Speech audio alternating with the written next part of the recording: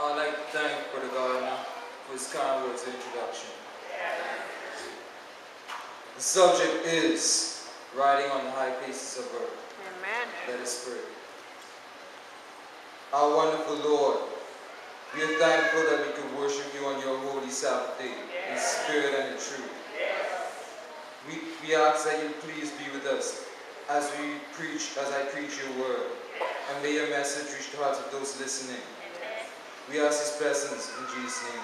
Amen. Please turn your Bibles to Isaiah 58, verse 13 and 14, and you find the same.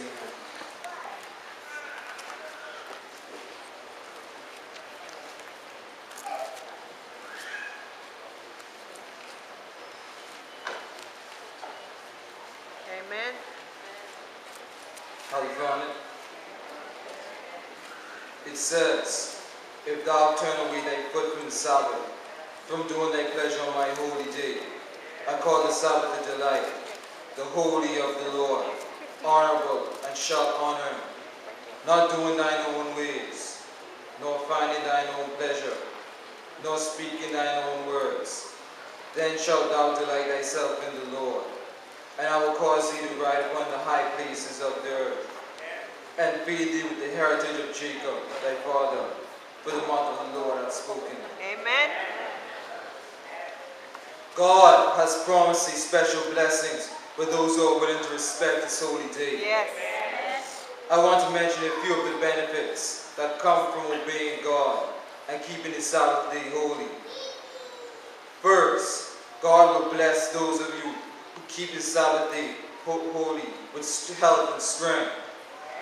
All of us ought to be thankful today for a reasonable portion of health and strength. Amen. Because if we didn't have a reasonable portion of health and strength, we wouldn't be able to be here today. Amen. My friends, the fact that you're worshiping God today is evidence that God is being good to you. Yes. Amen. Good health is an integral part of good religion. Yes.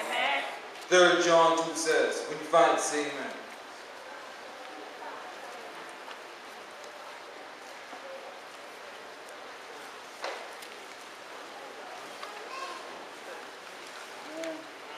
Amen. Have you found it? Beloved, I wish above all things that thou mayest prosper and be in health, even as thy soul prospereth. Strength is also very important. Deuteronomy 33 verse 25 says, Thy shoes shall be iron and brass, and as thy days, so shall thy strength be. Some people are worried about what is going to happen tomorrow. They, are, they wonder if they will enjoy good health tomorrow. Christians don't have to worry about oh, things like Amen. that because God has promised to give us help and strength one day at a time as we trust in Him. Yes. That is a special blessing God has promised to give His people. Second, God promises to give us, bless us with food and clothing. Yes. Turn with me to the book of Matthew, the sixth chapter, and find the same man.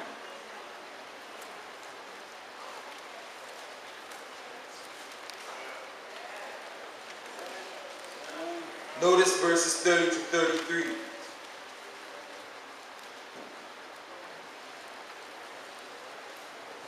Wherefore, if God so clothe the grass of the field, which today is, and tomorrow is cast into the heaven, oven, shall he not be not much more clothe you, Amen. O ye of little faith? Yes. Therefore, take no thought, saying what we shall eat, or what we shall drink, or wherewithal sh- shall we be clothed. For all these things do the Gentiles seek. For your heavenly Father knoweth that ye have need of all these things. But seek ye first the kingdom of God and his righteousness, and all these things shall be added Amen. unto you. Children of God don't have to worry about having food to eat No. or clothes to wear because God has promised to take care of us. Amen. If we put God first in our lives, God will supply us with everything Yes. we need. Amen. God made, made provision for our needs long before we even realized we had a need. Yes. Long before we felt cold in the wintertime, Yes. God began storing up oil and coal in order to keep us warm. Yes. He knew that we would get hungry, so before he, he created man, he made he put God puts fertility into the soil and put life into the seeds so that food might be produced. Isn't God wonderful? He knows that what we need before we even ask Him. It's turn your Bibles to Psalm 37, verse 25. Respond, say amen. Amen.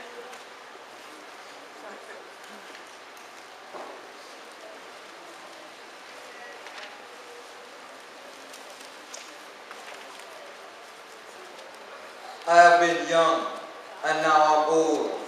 Yet have I not seen the righteousness forsaken, nor seed begging bread. You don't have to worry about going around and begging for food and for the necessities of life, because God will take care of you. Amen. The third blessing God bestows upon his obedient people is his guidance and protection. The Bible says in Proverbs 3, verse 5 and 6, when you find it, say amen.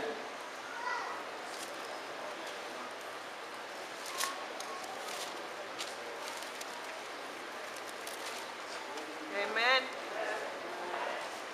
Trust in the Lord with all thine heart, and lean not unto thine own understanding.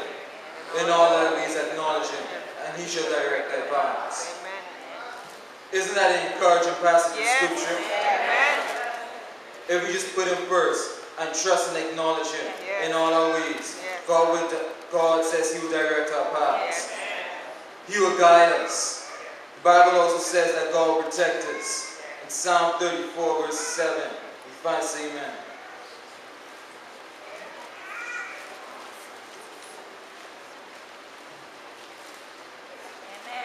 Amen. It says, the angel of the Lord encampeth around about them, about them, that fear and deliver them. And Psalm 91 verse 11 says, For he shall give his angels charge over thee, to keep thee in all thy ways. We don't have to worry about what is going to happen to us No. when we walk out into the streets, Right. because God has sent his angels to take care of us. Isn't that a wonderful blessing? Yes. Nothing can affect a child of God without his permission.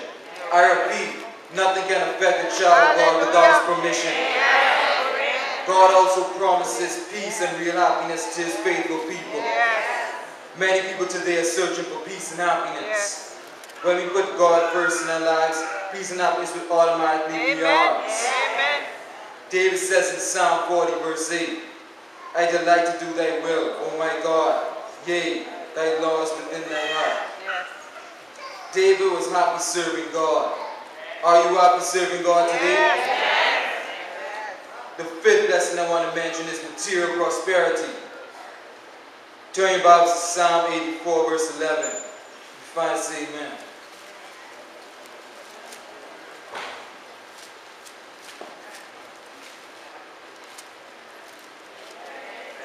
Amen. For the Lord God is a sun and shield. The Lord will give grace and glory. No good thing will he withhold from them that walk up, walketh uprightly. Amen. In the verse we began with Isaiah 58, verse 14, it says that if we are faithful in keeping the Sabbath, the Lord will cause us to ride upon the high places of the earth. Yes.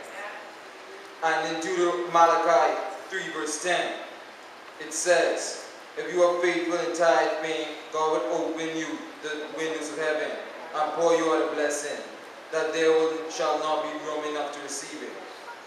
How many need a blessing like that today? Amen. All you have to do is be faithful to God. Amen.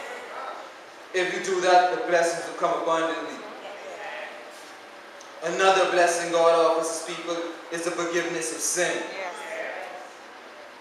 Turn your Bibles to Psalm 51, verse 5. Find say amen. Amen.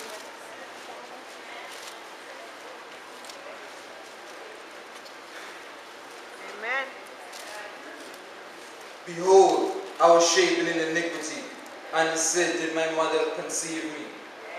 We are all born sinners, so we can benefit from this blessing. Yes. 1 John 1 verse 9 says, If we confess our sins, he is faithful and just to forgive us of our sins and cleanse us from all unrighteousness. Amen. And Psalm 103 verse 8 to 10 says, The Lord is merciful and gracious, slow to anger, and plenteous in mercy. He will not always chide, neither will he keep his anger forever. He hath not dealt with us after our sins, nor rewarded us according to our iniquities. I thank God for his blessings of forgiveness. Amen. All of us have sinned, and all of us deserve to be lost. Yes. But God has not dealt with us according to our sins we have committed. He has been merciful to us. Amen. And that is why He has given some of you a second chance. Thank you, Jesus.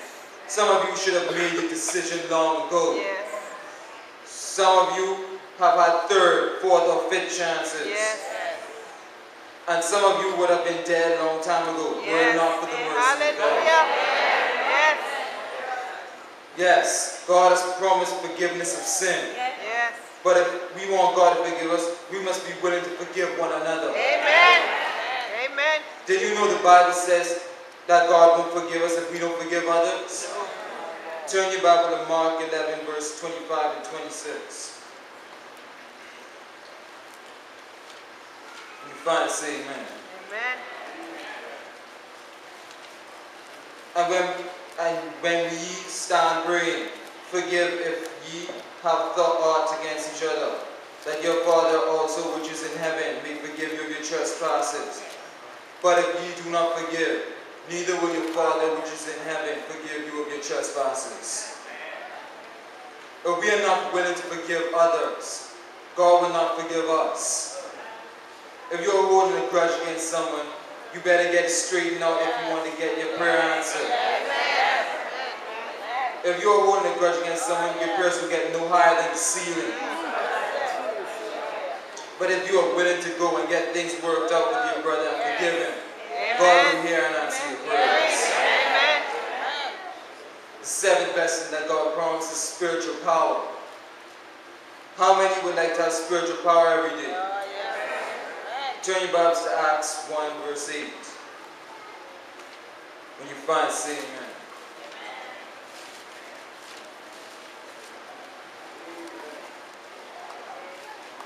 But ye shall receive power. After that, the Holy Ghost is come upon you, and ye shall be witnesses unto me, both in Jerusalem and in all Judea, and in Samaria, and unto the uttermost part of the earth. God is causing light to shine on your pathway in order that you will have power to live in harmony with His Word and also in order that you might share His Word with others.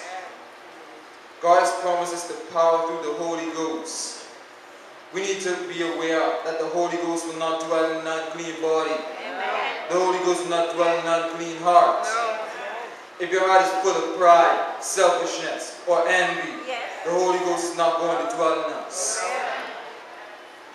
I like to point out that God has promised to supply all of our needs, Amen. not all of our wants. Amen.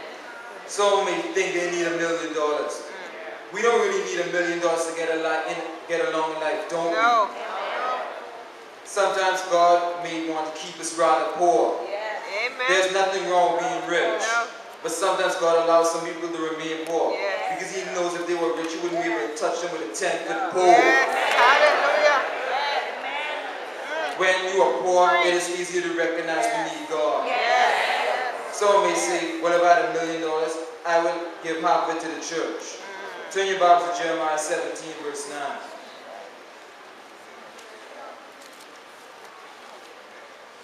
It, say amen.